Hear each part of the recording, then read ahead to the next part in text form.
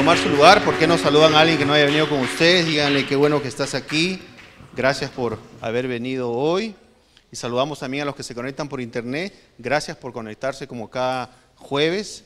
Gracias por eh, preferir tomar este tiempo para escuchar la palabra de Dios. Amén.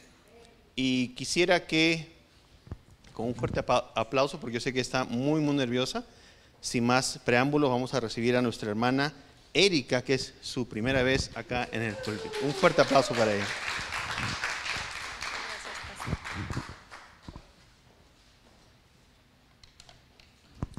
Buenas tardes, iglesia, ¿cómo están? Dios les bendiga.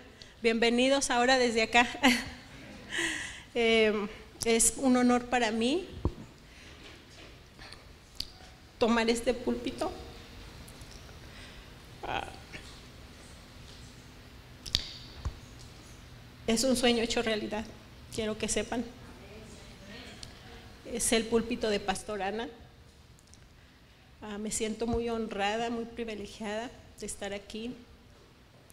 Ah, pero también quiero honrar a Maris, una persona que es importante para mí y que después de Pastorana, eh, mi formación que hasta ahorita he logrado, ella tiene mucho que ver. El carácter que el Señor está formando en mí, ella tiene mucho que ver. Le doy gracias a Dios por su vida, por sus enseñanzas, por su tiempo. Ah, y espero que, que ella se sienta honrada de que su tiempo no ha sido en vano. Yo sé que me falta todavía mucho, pero ah, ahí la llevo. Ah, hoy les quería ah, compartir sobre el amor de Dios hacia nosotros de todas las maneras que Él nos ha estado demostrando desde, desde el inicio, desde Génesis hasta Apocalipsis. Son 66 libros en los cuales el Señor ha plasmado instrucciones, demostraciones de amor ah, y enseñanzas que nos ayudan para nuestro diario vivir y les pido por favor que me ayuden a, sin tomar más preámbulos, a entregarle el servicio al Señor en oración. Gracias Señor por esta oportunidad. Gracias bendito Dios por mis hermanos que están aquí, Señor, que vienen con expectativas de aprender de ti, de aprender de tu palabra, Señor. Te doy gracias por cada uno de ellos, aún por los que vienen en camino, Señor. Oh Señor, Declaramos, Señor, que todo argumento que se levante en contra del conocimiento de Dios queda anulado y cancelado hoy. Lo llevamos al cautiverio, a la obediencia a Cristo. Y te damos gracias, Señor, por lo que hoy vas a hablar, Señor. Llena mi boca, Señor. Llena mi boca, Señor. Y yo hablaré de ti, Señor, porque tú eres lo más importante. En este momento tú eres lo más importante. En el nombre de Jesús. Amén. Ah, ¿Me ayudas con Génesis 1, por favor?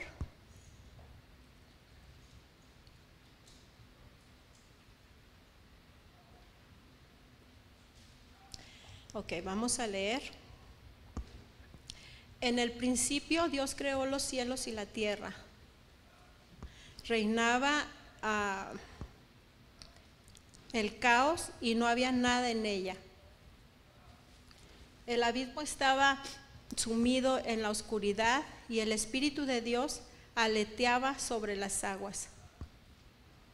En este versículo número uno vemos que en el principio era Dios, ¿verdad?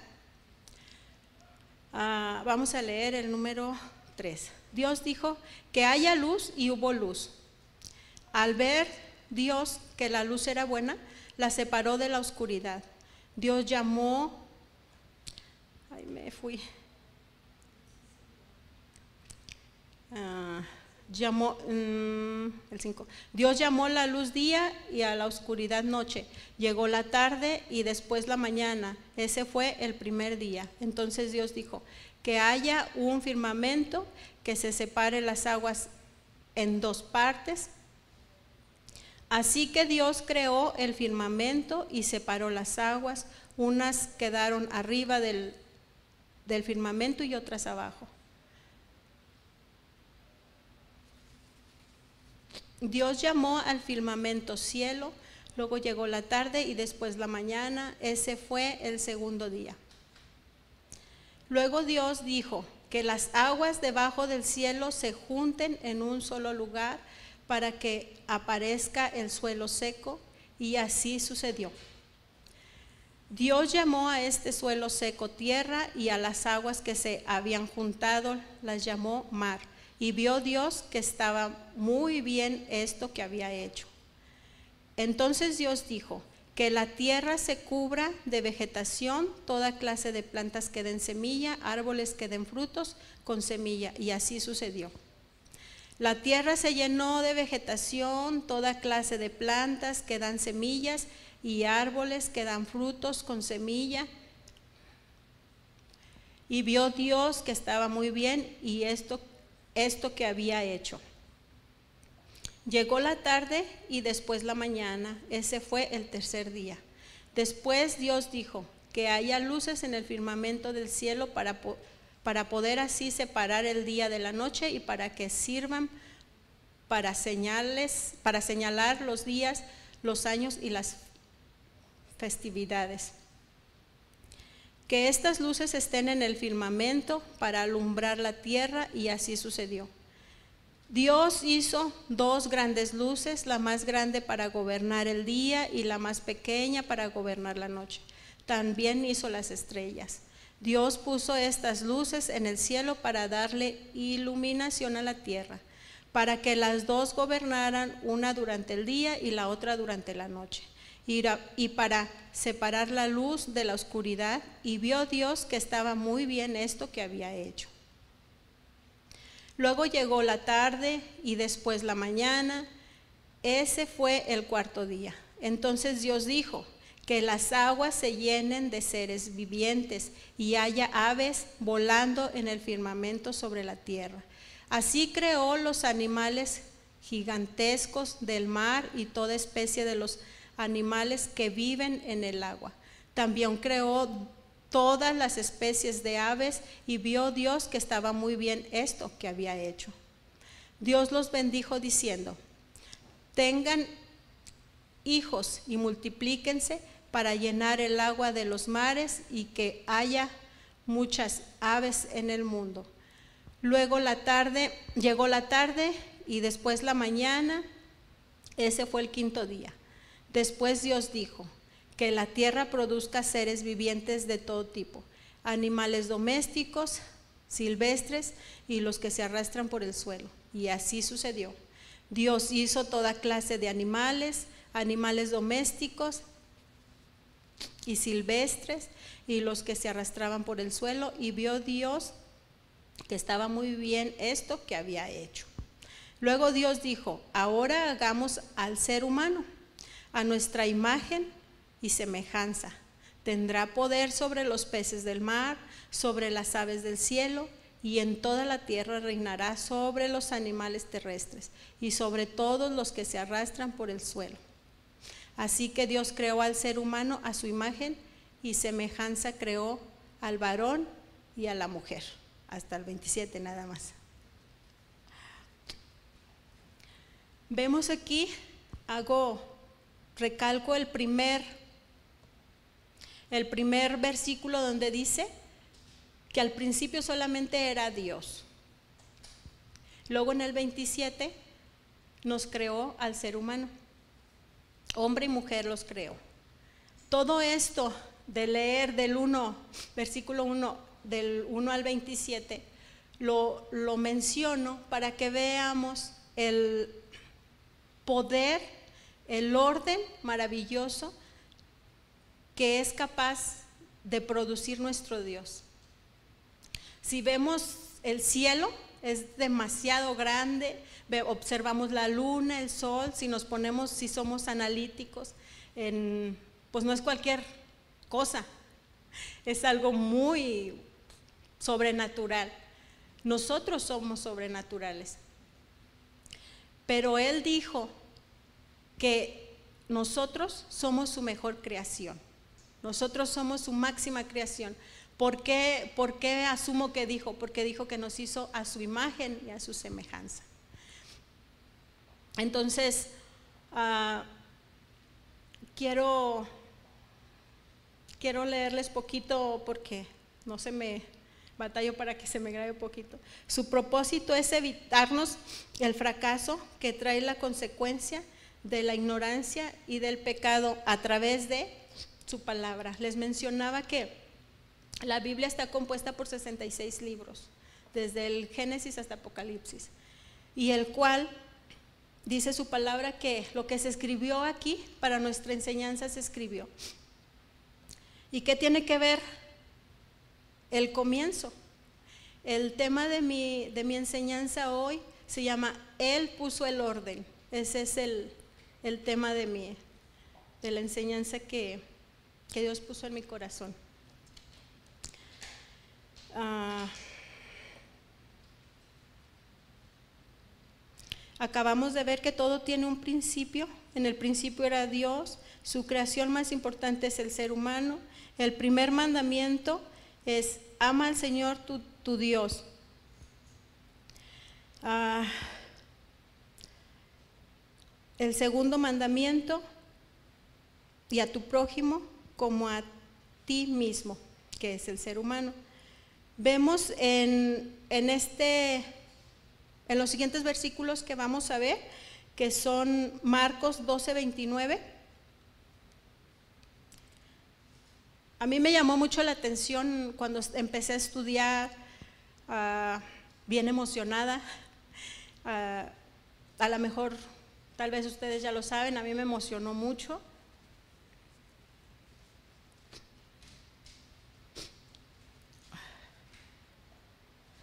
Ah, dice, mm, Jesús contestó, ¿me puedes poner el 28? Por favor. Ok. El mandamiento más importante. Ah, se acercó uno de los maestros de la ley que los había oído discutir, se había fijado en, en, lo bien que Jesús les había contestado y le preguntó, ¿cuál es el mandamiento más importante? Jesús contestó, el mandamiento más importante es este, oye Israel, el Señor nuestro Dios es el único Señor. El 30. Ama al Señor tu Dios con todo tu corazón, con toda tu alma, con toda tu mente y con todas tus fuerzas. Ah, ¿Me puedes dar un compare, por favor?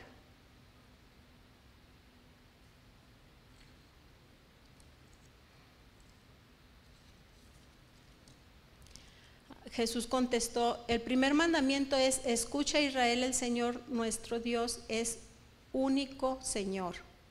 Jesús le contestó, el primero es, escucha Israel, no el, el 29 o el 30. Ama al Señor tu Dios con todo tu corazón, con toda tu alma, con toda tu mente y con todas tus fuerzas. Ah, amarás al Señor tu Dios con todo tu corazón, con toda tu alma, con toda tu inteligencia y con todas tus fuerzas. Amarás al Señor tu Dios con todo tu corazón, con toda tu alma, con toda tu inteligencia y con todas tus fuerzas.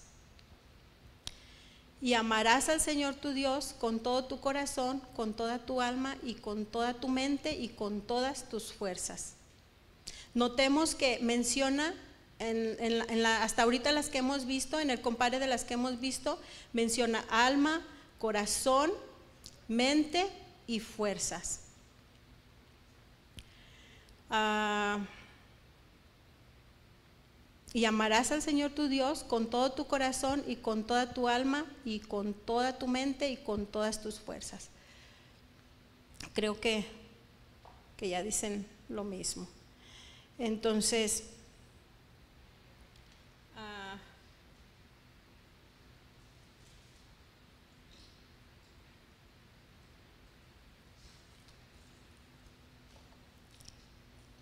¿me ayudas a, a, a Mateo 22, 34, por favor?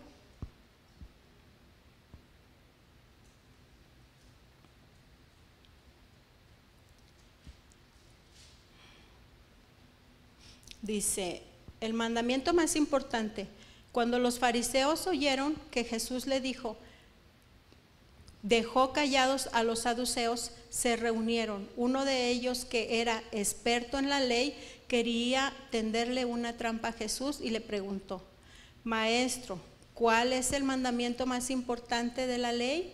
Jesús le dijo, ama al Señor tu Dios con todo tu corazón, con toda tu alma y con toda tu mente. ¿Me ayudas también en Lucas 10:25, por favor?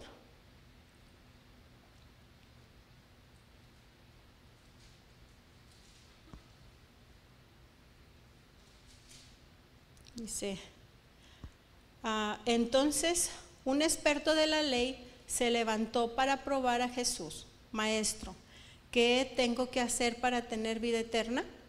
Entonces Jesús le dijo, ¿qué está escrito en la ley? ¿Cómo lo entiendes? Él contestó, ama al Señor tu Dios con todo tu corazón, con toda tu alma, con todas tus fuerzas y con toda tu mente. Y ama a tu semejante como te amas a ti mismo.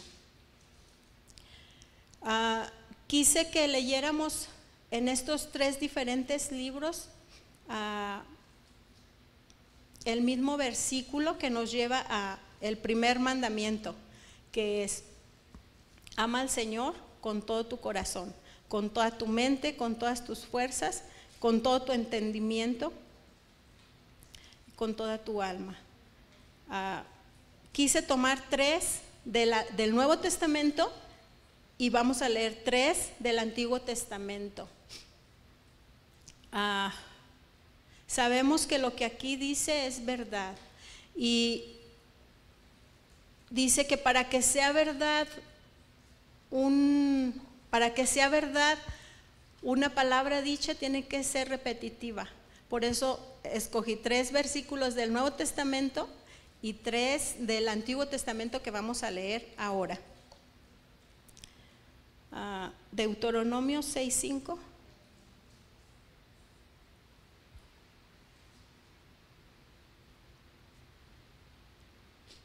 Dice, ama al Señor tu Dios con todo tu corazón, con toda tu alma y con toda tu, tu fuerza. Ah, bueno, y también vamos a leer Deuteronomio 36, que les dije que vamos a leer.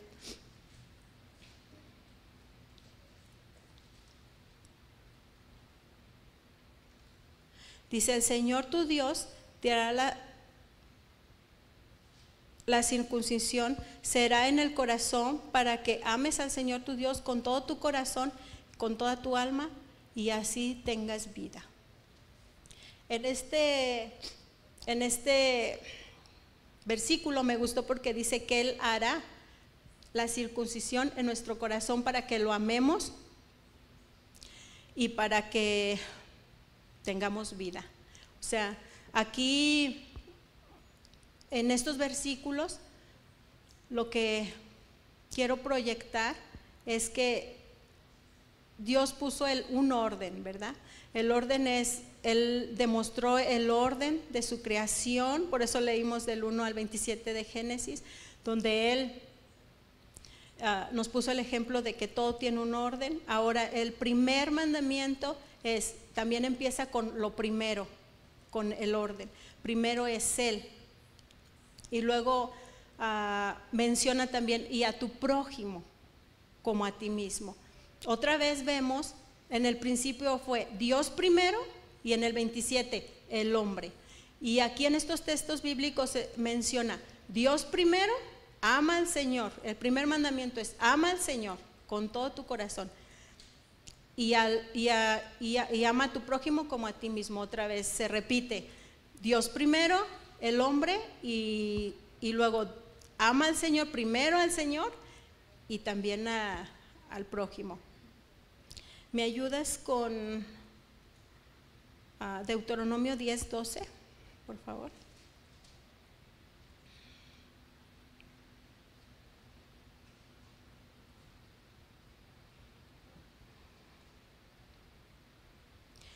Dice, lo que el Señor pide de ti. Ahora Israel, ¿qué es lo que te pide el Señor tu Dios? Solamente que respetes al Señor tu Dios, que vivas como Él dice, que lo ames y que sirvas al Señor tu Dios de todo corazón y con toda el alma. Y que cumplas todos los mandamientos del Señor y las leyes que hoy te doy para que tú, por tu propio bien. Mira al Señor tu Dios, permanecen los cielos, incluso los cielos más altos y la tierra y todo lo que hay en ella. Aún así el Señor sintió amor pues, por tus antepasados, tú eres descendiente de ellos, tanto te amó que te eligió a ti en lugar de elegir a cualquier otra nación, tal como puede verse hoy. Circunciden su corazón, quitándose sus actitudes paganas y dejen de ser tercos, porque el Señor tu Dios es el Dios de todos los dioses y el Señor de todos los seres. Él es grande, todopoderoso y terrible. Él no tiene favoritismo ni acepta sobornos. Él se encarga de hacer justicia a las viudas y a los huérfanos. Él ama al inmigrante que habita contigo y le da comida y ropa. Tú también debes amar al inmigrante porque fuiste inmigrante en la tierra de Egipto. Obedece al Señor tu Dios, sírvele, sé fiel a Él y haz promesas en su nombre. Alábalo solo a Él, Él es tu Dios. Él hizo por ti esos milagros grandes y temibles que has visto con tus propios ojos. Tus antepasados eran solo 70 cuando se fueron a Egipto y ahora el Señor tu Dios los ha hecho tan numerosos como las estrellas del cielo. Ah, quise leer todo, todo el párrafo porque en base a que pide que lo amemos, pide, pide también qué debemos de hacer, ¿verdad? Ah, ¿Me regresas por favor al Deuteronomio ah, mm, 6.5? A ver si es.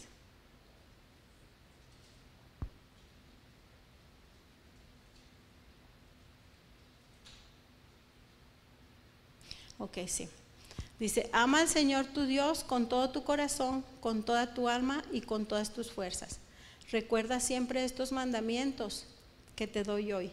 Enséñalos a tus hijos y háblales sobre ellos cuando estés en tu casa, cuando camines, cuando te acuestes y cuando te levantes. Aquí me equivoqué y lo brinqué, pero ah, aquí en este versículo, en el 6-7, dice, enséñaselos a tus hijos. Aquí tenemos bien claro que nos está dejando tarea para con nuestros hijos. Es amar a Dios. Si no amamos a Dios, difícilmente vamos a, enseñar a nuestros hijos, porque ¿qué es lo que les vamos a enseñar? Que amen a Dios. Y si amamos a Dios, nosotros como padres obedecemos a Dios y les enseñamos a nuestros hijos a obedecer a Dios, amar a Dios y a obedecerlo. Ah, les quiero compartir una de las primeras cosas cuando empecé a aprender. ah, me dijeron en una ocasión, este, ¿tienes alguna necesidad? ¿Quieres que oremos por ti? Y lo primero que pedí fue por mis hijos, oren por mis hijos. ¿Por qué? Y ya les dije por qué. Y aprendí esto. Si yo no me sujeto a Dios, si yo no obedezco a Dios, mis hijos tampoco se van a sujetar a mí. Si para mí Dios no es primero, si para mí Dios no es lo más importante, difícilmente mis hijos van a amar y respetar a Dios, porque tiene que haber congruencia en nuestra casa. Cuando me dijeron eso, pues uno espera que porque oran se acomoden los hijos, se acomode el esposo, se acomode todos los problemas así como cuando llegamos, pienso yo que todos llegamos con todo descompuesto, ¿no? Con todo un desorden, pero gracias a Dios que llegamos con el Dios de orden y, y me enseñaron bien que si pongo a Dios en primer lugar, lo demás se va a acomodar. Fuera de Dios, Dios es el principio.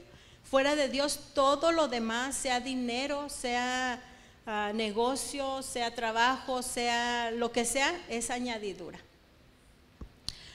Eh, vamos a ver el 8. Escríbelos y átalos en, el, en tu brazo como un recordatorio y llévalos como cinta en tu frente. Este, este texto me, me acordó cuando Pastor Ana decía, ah, todos tus problemas están aquí en la Biblia, todos tus problemas. Y yo decía, Ay, pero ¿cómo, cómo, cómo sé? ¿Cómo sé dónde encontrar el problema ahí? Es, es ahí lo importante de meditar en la palabra de Dios para estar siempre, como dice Josué, medita de día y de noche en este libro de la ley ¿Para qué? Para que cuando vengan los problemas estemos listos, estemos listos para enfrentar la situación, cual sea que se venga. Algo que aprendí hace unos cuantos meses fue impactante para mí porque estuve frente a un juicio y fue importante para mí porque está el defensor y está el acusante. Y, pues hay una circunstancia. El, defensor pues está defendiendo al acusado y, el, y los que lo quieren, los defendientes de la otra persona, pues están listos. Y algo que me impactó a mí, que de todo hay que aprender para mí ahí esa vez fue mucha fue una semana de mucha un retiro de mucha enseñanza, de mucho ayuno y uf, andaba bien en el espíritu. Entonces, lo que me impactó fue esto, que si no nos sabemos lo que Dios dice, perdemos. Si no sabemos lo, lo que Dios dice respecto a los hijos, perdemos. Sabemos que tenemos un acusador. Si no sabemos lo que Dios dice respecto al matrimonio, perdemos. Si no sabemos lo que Dios dice respecto a la esposa, perdemos. Respecto a tus finanzas, respecto a tu salud, si no sabemos, vamos a perder. Y no se vale que si Dios, que nos ha dejado en su palabra, desde el principio, un orden, una secuencia a seguir, su poder manifestado de lo que es capaz de formar, no más de decir, y nosotros agarrar y también decirlos porque fuimos a su imagen y a su semejanza. Yo pensaba, decía, ay, no se vale, no se vale, Señor. Como decía Pastor hace días, ay no, otra vez, ay no, no se vale, pero Él es así de bueno con nosotros, que nos tiene paciencia y que Él cree en nosotros, Él cree. Dice, ay, ya Merito despierta, ya Merito me entiende que soy capaz de hacer por ella, yo sé que va a aprender que soy capaz de hacer por su situación. Ah, en Ya leímos el 9, ahora el 10. Dice, el Señor tu Dios les prometió a tus antepasados, Abraham, Isaac y Jacob, que te iba a dar a ti esta tierra. Cuando te permita entrar en ella, te dará ciudades grandes y buenas que tú no construiste. Casas llenas de cosas buenas que tú no compraste. Pozos que tú no excavaste. Viñedos y olivos que tú no plantaste. Cuando hayas comido y estés satisfecho. Aquí otra vez la demostración de Dios. Ah, gracias que hasta lo tienen subrayado que nos dará, su poder es tan infinito que nos dará casas, ciudades a poseer. Yo decía, ¿cómo, cómo, cómo nos va a dar ciudades a poseer? Y, y ahorita yo lo puedo ver en mi hijo Jonathan, que él donde está, está poseyendo, está poseyendo. Entonces, ¿por qué? Porque la más grande bendición para mí como mamá es ver un hijo salvo. Ah, si me preguntaran, claro que yo lo quisiera tener ahí enfrente, ¿verdad? Muy pronto. Porque si puede dar todo eso, eso es bien fácil para él. Entonces, pero es un deleite y un gozo ver cómo, no importa las circunstancias, Dios, si Él te prometió que si crees tú toda y tu casa va a ser salva, Él lo va a cumplir. Y yo les puedo decir hoy que, me los, que estoy llena de gozo porque lo estoy viendo. O sea, es un deleite oírlo hablar voy y me quedo, digo, Dios mío. Y gracias, Dios, gracias, gracias. Y me vengo bien contenta porque Dios es fiel. Dios es fiel y Él cumple lo que promete. Y como le decía, ciudades, casas, ah, pónganle ustedes el título que le quieran poner. Su sanidad, yo no sé. Pero gracias, aquí, gracias a Dios aquí ya vemos puros sanos. Ah, vamos a ver. Sé cuidadoso el 12, sé cuidadoso de no olvidar al Señor que te sacó de la tierra de Egipto donde eras esclavo. Ah, ¿Alguno de, de ustedes, yo me pongo a pensar, de dónde me sacó Dios? a, mí me sacó de mucha soledad. Hay personas que a veces, aunque estén rodeadas de muchas personas, se sienten muy solas. Y ese era mi Egipto. La soledad, la tristeza. No sabía que era depresión, pero ahora que sé, pues siempre estaba deprimida. Ah, de un hogar que estaba casi deshaciéndose, ya se miraba que no había nada. y por eso le doy gracias a Dios porque pensé yo, sin conocimiento de Dios, que mi futuro era estar ya sin mi esposo. No le miraba por dónde eh, cambiar el asunto. Pero gracias a Dios que cuando uno empieza a aprender de su palabra y la empieza a aplicar sin entender, porque fe pues no, no tenían nada, pero sí sé que en cuanto me decían algo pues lo hacía. Y decía, ay Señor, pues dicen ellas. Yo, yo así le decía, Señor, pues dicen ellas. Yo, yo pues voy a, yo voy a obedecer. Me acuerdo que mi esposo estaba acá en Estados Unidos y yo estaba en México.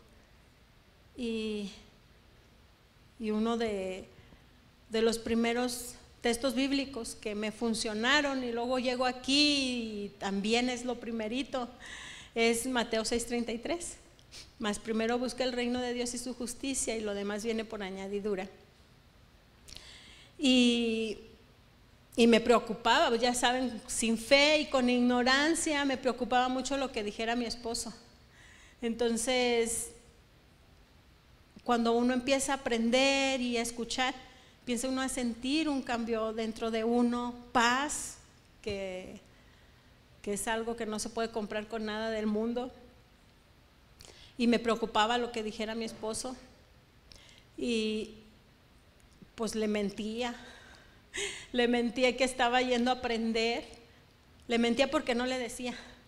Entonces, pero cuando empieza uno a leer la escritura y me topé con la escritura que dice que los que mienten no entran en el reino de Dios,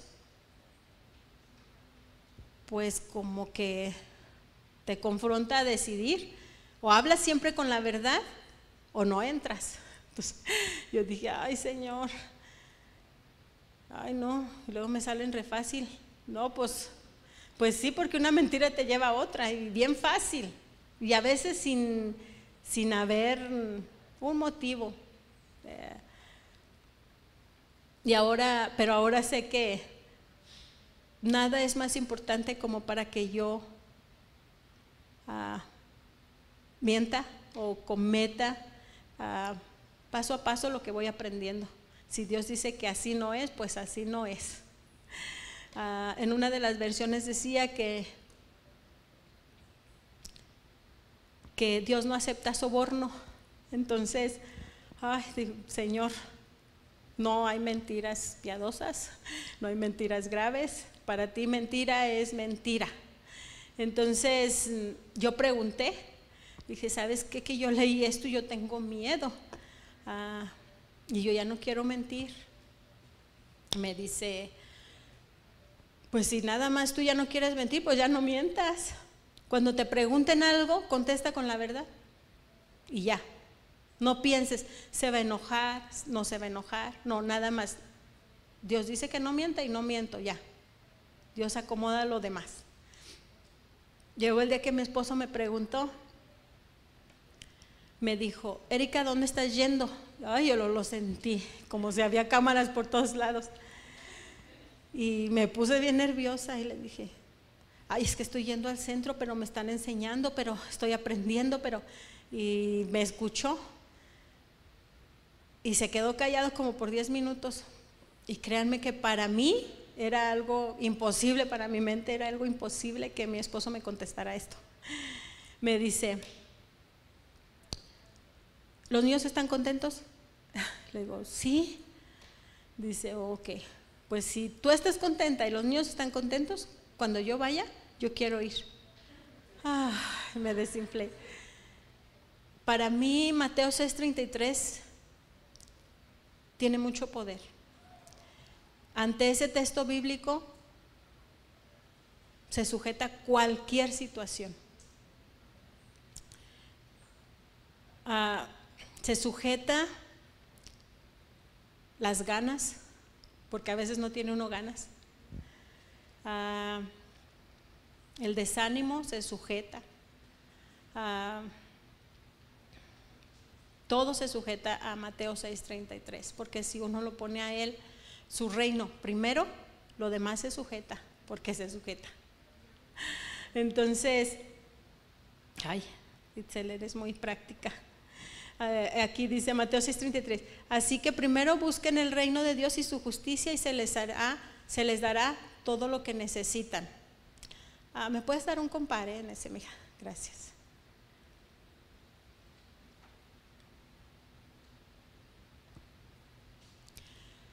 Por lo tanto, busquen primero el reino y la justicia de Dios y se les dará también todas esas cosas. ¿Cuáles cosas? Todas. Ustedes antes que nada busquen el reino de Dios y todo lo justo, lo bueno que hay en él. Y Dios les dará además, además, todas esas cosas. Buscar pues primeramente el reino la justicia de Él y todas estas cosas os serán añadidas. Por lo tanto, pongan toda su atención, pongan toda su atención en el reino de los cielos y en hacer lo que es justo ante Dios. Y recibirán también todas estas cosas. Buscad primero el reino de Dios y su justicia y todas estas cosas se, se os añadirán. Mas buscad primero la justicia y el reino de Él y todo esto se os añadirá. Pero buscad primero su reino y su justicia y todas estas cosas os serán añadidas. Pero busquen primero su reino y su justicia y todas estas cosas serán añadidas. Buscad pues primero el reino y su justicia y todo eso se os dará por añadidura. Y te lo proporcionará si le das el primer lugar en tu vida. Ay, miren ese. Y te lo proporcionará si le das el primer lugar en tu vida. Eso me ayuda a cerrar con el principio. ¿Cuál es el primer mandamiento? Ama al Señor tu Dios con todo tu corazón, con toda tu mente, con toda tu alma, con todas tus fuerzas y con todo tu ser. En unas dice hasta cinco cosas. Entonces, Él te proporcionará si, si le das el primer lugar en tu vida. Y así cumplimos el primer mandamiento en obediencia. Eh,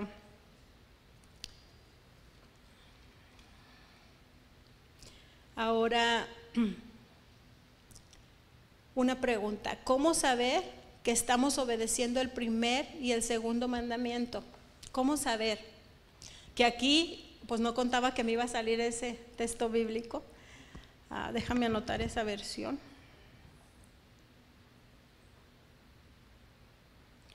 le comentaba a Pastor Arturo que les comentaba que para mí el ver diferentes traducciones me ayuda bastante para comprender. Ah, vamos a, ver Primera de Juan 5 del 2. ¿Qué versión es esa, mija? Esta palabra de Dios para Ok. Dice, el título dice Fe victoriosa. Si amamos a Dios y ponemos en práctica sus mandamientos, sabemos que amamos a los hijos de Dios. Pues demostramos el amor a Dios poniendo en práctica sus mandamientos y sus mandamientos no son difíciles de poner en práctica, porque todo aquel que sea hijo de Dios, vence al mundo. Nuestra fe nos ha dado la victoria sobre el mundo. ¿Me pones un... Ah, ah déjame leer el 5. ¿Quién es el que vence al mundo? El que cree que Jesús es el Hijo de Dios. ¿Me ayudas con un compare, mija, por favor?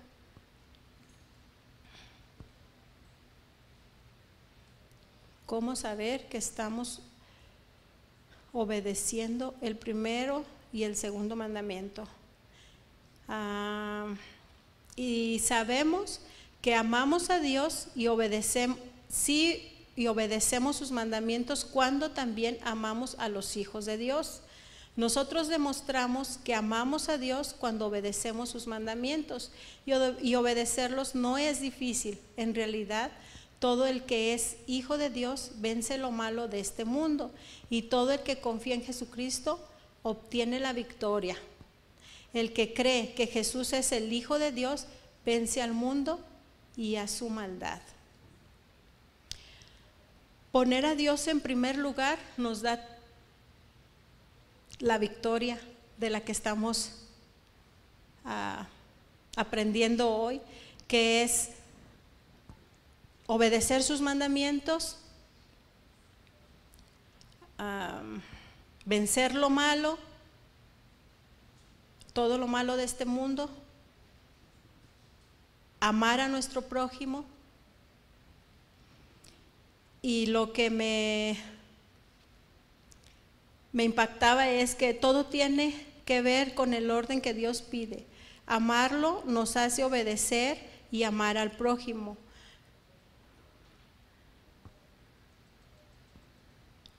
Hacerle, y hacerle un bien al prójimo y amarnos a nosotros mismos nos hace no hacernos daño, ponerlo a Él en primer lugar nos hace bien para llevar una vida ordenada en santidad, con un corazón puro, sin malicia ni ventaja, íntegros, confiables, como debe de ser un representante del reino. Ah, quiero hacer hincapié reflexionando en cómo está nuestra, nuestra integridad hoy, hoy por hoy? ¿Cómo está nuestra confiabilidad? ¿Somos confiables? El punto es el prójimo. Si amamos a Dios, el segundo punto es el prójimo, hacerle un bien. Sabemos que al Señor no le agradan las pesas falsas. Sabemos que Dios ordena santidad, un corazón puro. ¿Puro para qué? Para que Él ocupe el primer lugar. No creo que un corazón sucio, lleno de maldad, de malos pensamientos, de malas acciones, actitudes, algo que un representante de Dios ya, ya eso sería, o sea, como que no, no muy congruente, porque son los primeros pasos en los que uno va uno aprendiendo, en lo que va Dios ordenando nuestro carácter, nuestra manera de pensar, nuestra manera de vivir, nuestra manera de decidir. ¿Y para qué? El resultado de todo es para que nos vaya bien en todo. Si no estamos amando a Dios como Él manda, así como dice que Él es primero, luego nosotros, y luego el primer mandamiento es ámalo a Él y también al, al ser humano, al prójimo. Si no estamos buscando primero a agradarle, no tenemos derecho a esperar nada de Él. Es, yo dije, ay Señor, eso suena muy, suena muy duro, pero si me lo brinco, no me hace bien, porque la primera que lo, que lo aprendí fue, fui yo. Si para mí Dios no está siendo lo primero en mi vida, pues no debo de esperar que me vaya bien en todo lo que se nombró. Fueron muchos versículos, a lo mejor muy repetitivos, pero que si uno los estudia y los medita con más calma, ah, caerá uno a la razón de que fuera de Dios no hay nada. Si no lo amamos, no vamos a poder lograr lo que sigue, obedecerle y amar a nuestro prójimo.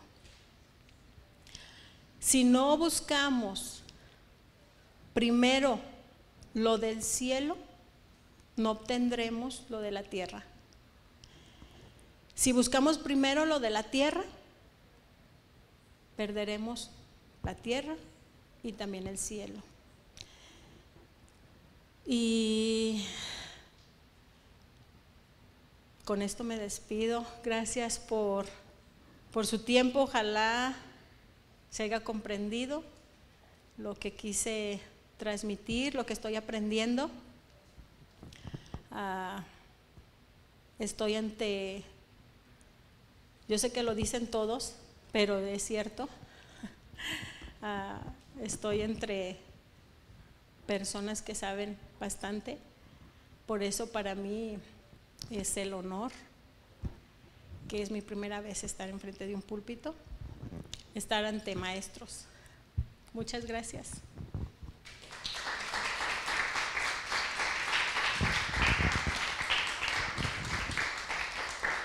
Gloria a Dios. ¿Aprendieron? Qué bárbaro.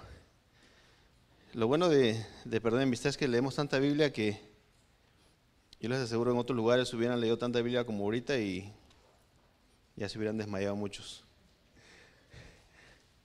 Itzel, ¿me pones Mateo 6:33 otra vez? Porque a mí me, me, me impresionó esa traducción. Ya les quedó claro, y obviamente a muchos no les va a gustar eso, ¿no? Pero ya les quedó claro a quién hay que amar primero. No voy a mirar a nadie porque no quiero que nadie se sienta... Ya les quedó claro a quién hay que amar primero.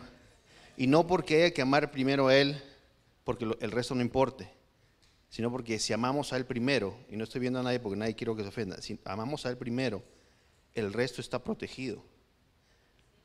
Yo le digo a Alonso, te amo, pero amo más a Dios, porque al amarlo a Él, te protege a ti.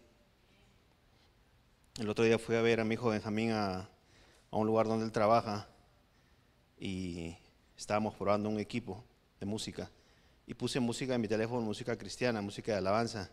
Y Benjamín me mira y me dice, ¿y de cuándo pasaste de la salsa y el rock a, música de alabanza? Le digo, porque mi amor cambió. Mi alabanza ahora es para Dios. Y se quedó sorprendido, pero son esos pequeños momentos en que ellos se dan cuenta, no es que no los ames a ellos, sino que el amor por Dios es tan grande porque sé que Él los cubre a ellos. Amén. ¿Cuál era la traducción que le das un compare, por favor? Porque nunca había leído esa traducción y, ahorita nos damos cuenta de lo importante de las traducciones.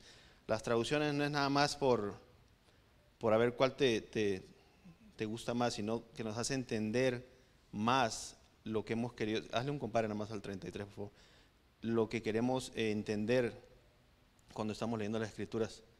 Eh, si le bajas un poquito era la, la NTBAD.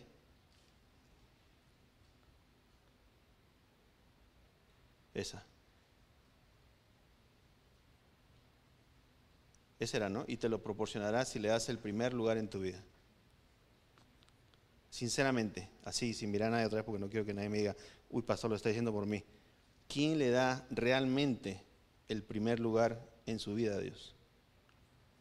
quién le da realmente el primer lugar en su vida.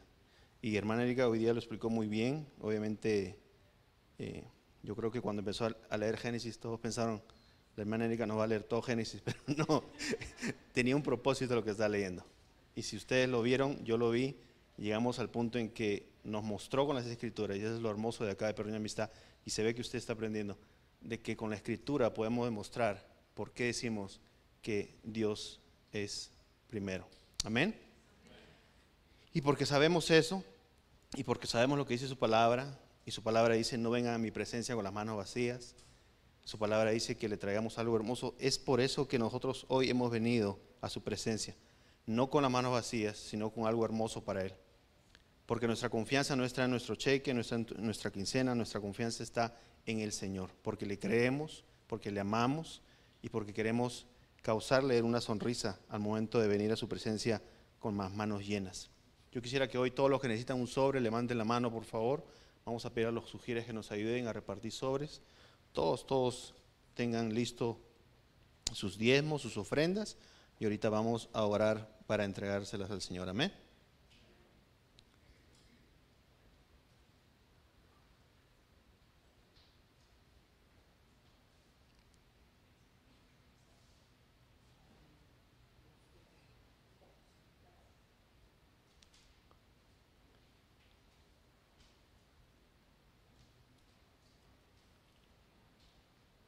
Recuerden que no debemos venir a su presencia con las manos vacías.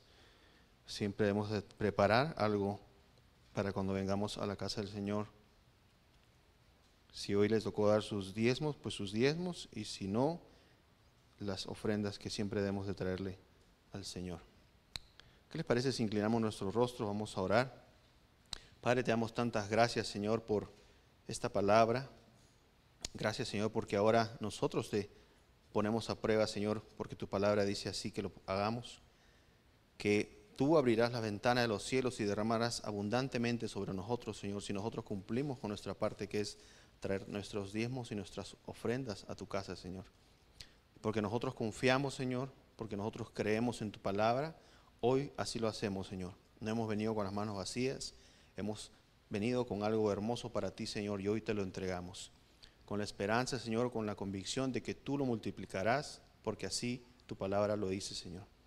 Y declaramos que cosecharemos abundantemente en el nombre de tu Hijo Jesús. Y todos decimos un fuerte amén.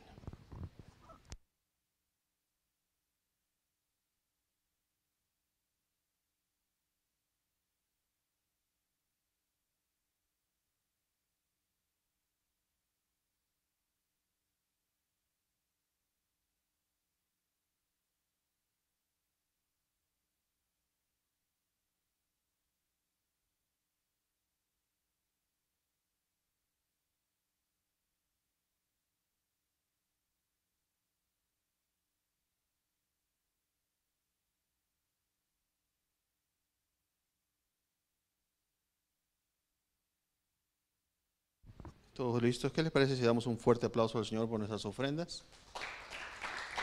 Y antes de despedirnos, quisiera que recordarles que todavía tenemos algunas Biblias.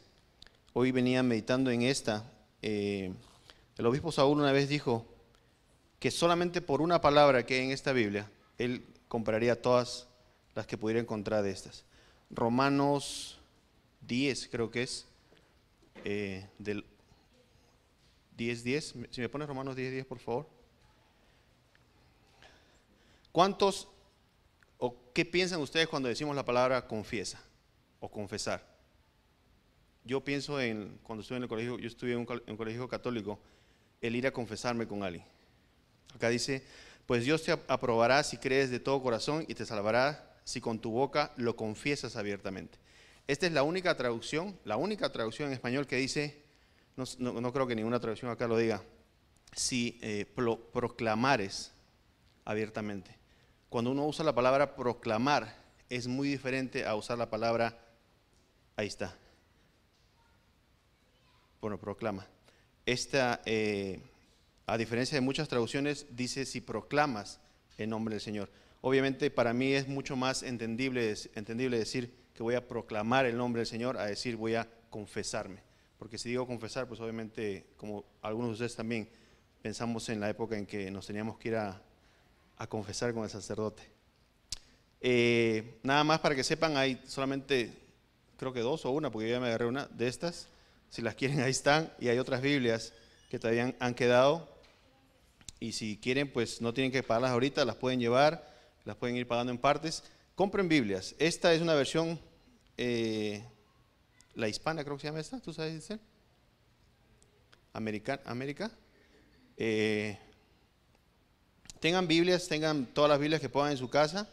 Eh, obviamente algún día les puede tocar, como la hermana Erika, estar aquí al frente y van a necesitar de dónde eh, ver diferentes traducciones. Vamos a ponernos de pie para ser despedidos. Vamos a dar gracias a Dios por ese servicio, porque nos vamos con una palabra nueva hoy. Inclinen sus rostros, vamos a orar. Padre, te damos gracias, Señor, porque tu palabra fue clara hoy.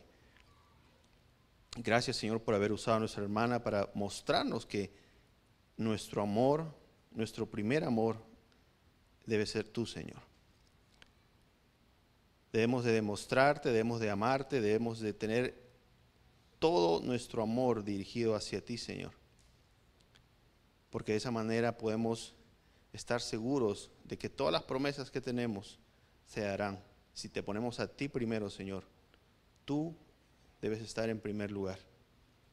Te damos gracias, Padre, por habernos permitido hoy estar aquí, por habernos permitido hoy haber escuchado tu palabra, Señor, e irnos con algo nuevo. Gracias, Señor, porque tu palabra es clara. Tu palabra nos transforma, Señor. Y hoy salimos transformados. Gracias, Señor. En el nombre de tu Hijo Jesús y todos decimos un fuerte. Amén.